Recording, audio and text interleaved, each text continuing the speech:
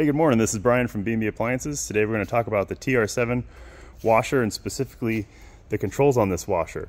These are all digital controls and they're very simple to use. You have preset wash cycles, which you can see here. There's these lights over on the left that show you what is selected for each wash cycle. So this one, for example, is warm cold with autofill and a medium soil level. I can go through the other preset wash cycles and you can see how the lights update and change. As soon as I've selected the load that I want, I simply press start and the machine will run. There's also favorites that you can set.